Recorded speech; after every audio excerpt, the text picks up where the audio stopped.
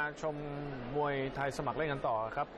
คู่ที่กำลังจะขึ้นเวทีขณะนี้เป็นการชกในรุ่น 57 กิโลกรัมครับ นักชกไทยพิสัยเอี่ยมสิริครับ หรือว่าฟ้าใสเกียรติหมู่เก้าครับครับ จะขึ้นชกกับเหงียนภูเฮียนครับจากเวียดนาม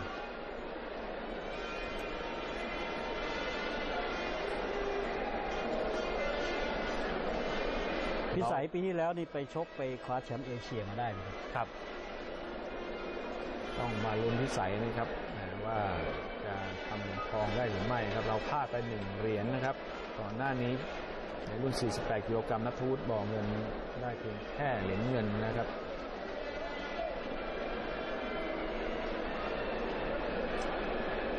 ปีที่แล้วอย่างที่คุณอภิสิทธิ์เรียนทราบครับพิสัยนั้นคว้าแชมป์เอเชียที่ที่อิหร่านประเทศอิหร่านมาครับ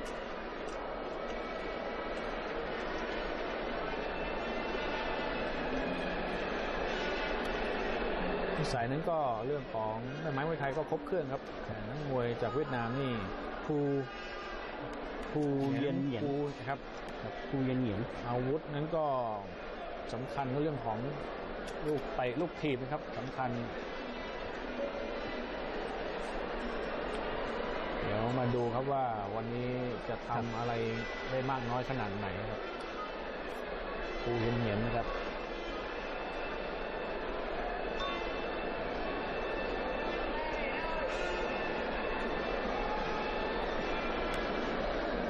พิสัยในมุมน้ำเงินครับ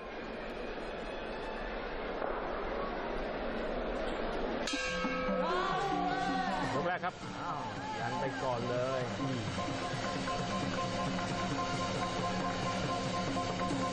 โอ้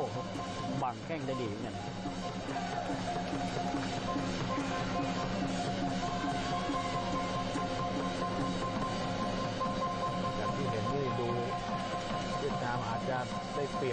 ยบเรื่องความยาวกว่านิดหน่อย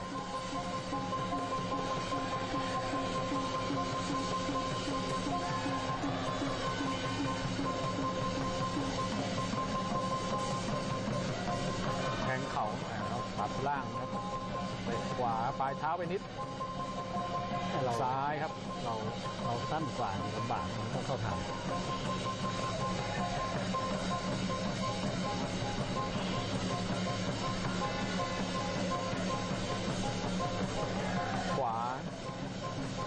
อ่เตะขวามาเหมือนกันครับโอ้โหขวาไปอีกครั้งหนึ่งโอ้โหแลกแข้งขวาอยู่ทีมแหม่มืดไปครับโอ้เหลี่ยมมวยถือว่าไม่ธรรมดาเหมือนกันนะชกเวียดนามเหงียนภูเฮียซ้ายพยายามจะเล่นเตะตัดล่าง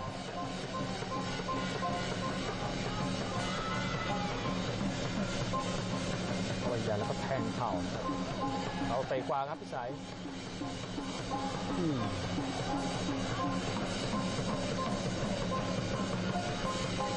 โอ้ก็ยังแลกแข่งกันอยู่ครับเดี๋ยวเปรียบเล็กน้อยเอาครับเดี๋ยวต้อง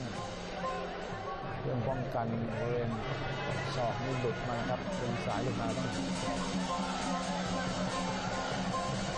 รกเตะกันอยู่ครับการก็ได้เข้าเตะซ้ายซ้ายเข้าเข้าเราเต็มเต็มๆเลยโอ้ดูแล้วนี่ ก็ยังยากเลยครับเออเขาก็เป็นเป็นไม่แพ้เราครับ รูปมวยของเขาแล้วที่สำคัญช่วงชกเขาได้เปรียบเราด้วยครับจังหวะออกแข้งเขายาวกว่าเขาเขาได้เปรียบเราก็ยังแลกเตะกันได้ดีครับในยกแรกนะครับ อาวุธหลัก ๆ ในยกแรกนี่ก็แลกเตะกันอยู่ครับนี่ครับเตะขวาโอ้โหเล่นเอาสะเทือนเหมือนกันพิสัยเนี่ยขวาคืนมาบ้างป้องกันได้ดีครับจังหวะเขาเตะขวาตรงนี้เนี่ยครับแล้วถีบนะ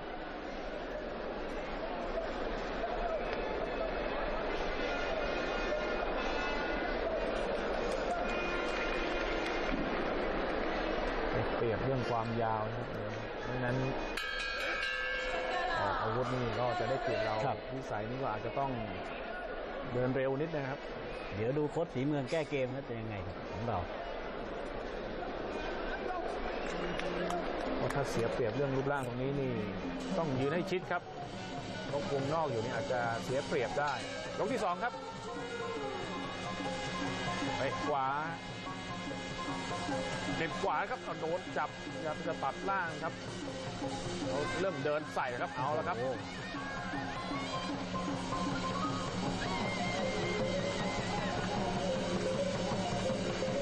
ดูเย็นนี่เริ่มขยับเดินเข้าหาบ้างนะครับยกที่สองนี่เอากับปั้มกอดกันอยู่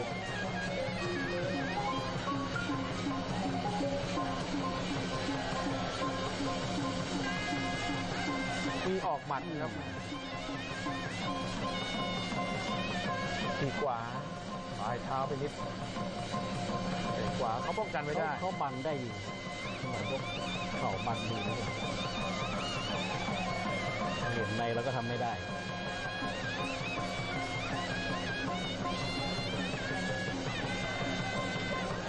ดึงตัวเอาจะถีบครับอ่าเข้ามาดึงตัวหลบได้ทันครับ ยกนี้เริ่มเดินเข้าหาพี่ใส่แล้วครับโอ้โหมีอัปร์คัตลูกนี้เข้าไป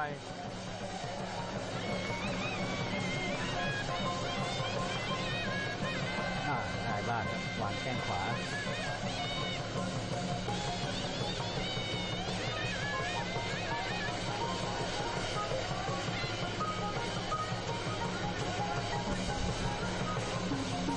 อาจารย์ต้องคอยตรวจเช็คอุปกรณ์ ผิดเพี้ยนไปนี่จังหวะโดนเข้าไปนี่ถึงแตกได้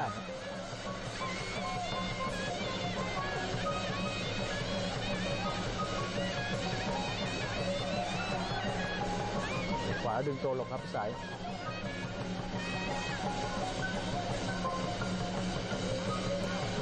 โอ้โหแรกเตะลูกนี้ครับคนละดอกหนาวหมัดหนึ่งสองมานะครับหลวงปู่เย็น มานะครับเราหมดยกที่สองพอดีครับแหมจังหวะปั้มแล้วก็ล้มลงไป ดูดีขึ้นมากับยกแรกนิดนึงครับพี่ใสยก็คงจะมาชิงกันในยกที่สามก็แบบนี้ใกล้เคียงกันมาก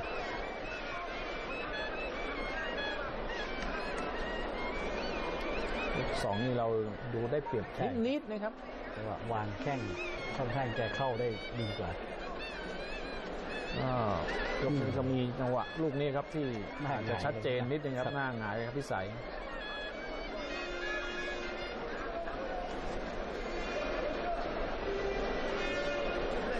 ต้องมาดูครับยกที่สามจะเป็นยังไงครับ เหมือนฟูเห็นยกที่สามก็ดูแล้วก็น่าจะเดินเข้าหาเราเหมือนเดิมครับเหมือนยกที่สองนี่ครับแต่ว่าพี่สายจะแก้เกมมายังไงครับ ฟ้าใสเกียรติหมู่เก้านะครับชื่อ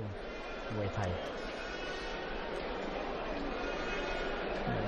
สีเมืองก็สอนอย่างไรครับ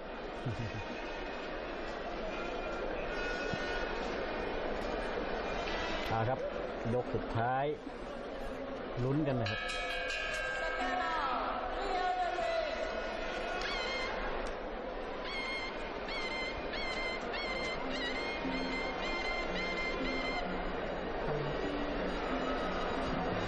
ยังไม่ออกมาจากมุมนะครับ สัญญาณนะครับดังอยู่พักหนึ่งแล้วครับเอาครับยกสุดท้ายครับโอ้ทีมจะมาออกก่อนครับตอนนี้ยกนี้เดินก็หาขยับหาครับเตะซ้ายเจ็บกว่าแม่ปลายเท้าเบิ้ลสองทีครับเขากระโจนเข้ามาเอากอนรัดเอาครับเหลี่ยมเรา เรื่องปั้มนั้นคงไม่เป็นรองนะครับ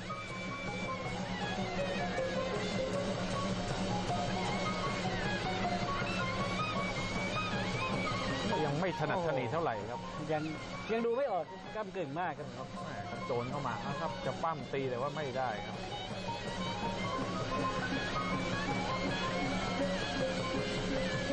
ขวา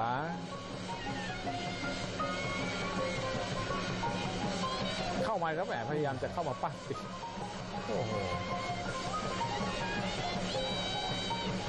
ถ้าครับเราได้ครับขวาวางเข้าลำตัวสวยซ้ายอีกทีหนึ่งข้าเตะเลยสีเรียงมา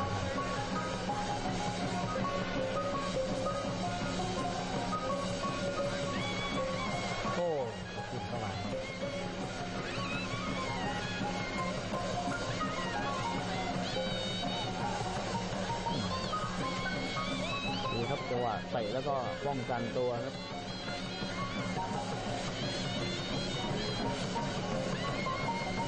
ออกอาวุธน้อยไปหรือเปล่าครับแม่นักชกจากเวียดนามก็พยายามหาจังหวะเนี่วุธไปแล้วครับ แล้วเข้ามาป้ามันก็โดนเรา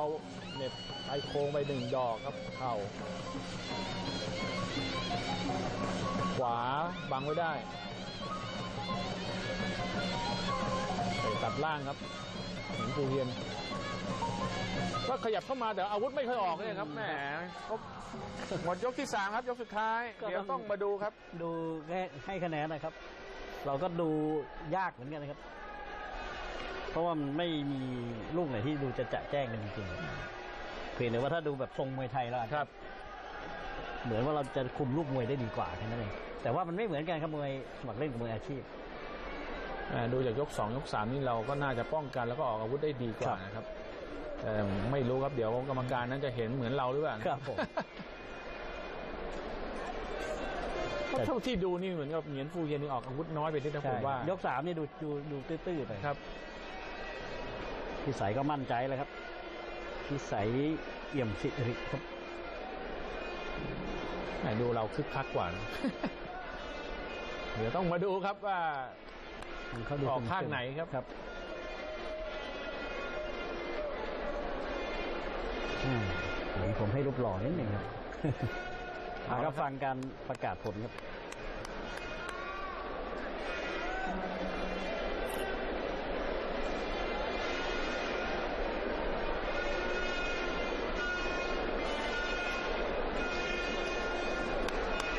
ดูครับจะยกมือให้ข้างไหน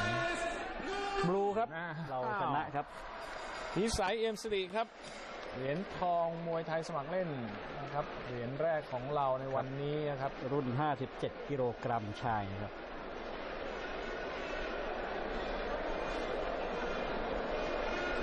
ก็ยังเรายังเหลืออีกสามคนครับผู้ชายและผู้หญิงหนึ่งครับอันนี้ผ่านไป2รุ่นของเราก็หนึ่งเหรียญทองก็หนึ่งเหรียญเงินนะครับเดี๋ยวต้องมาดูกันต่อครับ